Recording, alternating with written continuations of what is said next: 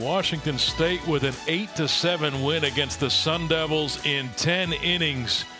A great come from behind win for the Cougars, a game that was kind of bookend by fireworks. It was the Sun Devils that uh, got off to a great start. Yeah, the first inning got some big hits by Arizona State, combined by some kind of some poor defense and some not getting ahead in the count on the pitching staff. Down 4 nothing. Colin Montez brought the Cougars back. A three run shot in the second inning. Yeah, you got to love the freshman getting his first start at DH in the Pac 12 play. Big swing there, and then Plouffe comes up with the big offensive play. A game that went back and forth, but down by a run. The great Spencer hmm. Torkelson for Arizona State. A bomb to Yeah. straightaway center. Yeah, I'm not sure if that ball has landed yet, Greg, but we're we're looking at one of the finest young hitters in the country.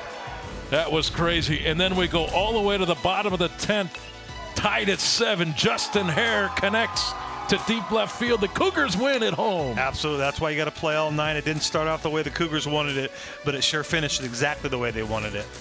And you look at the numbers 8 to 7, the final score, a game that featured 23 hits.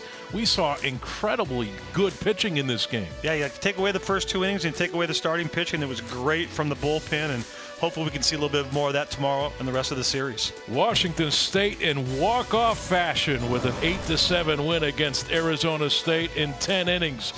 Game 1 of a 3-game series in Pullman.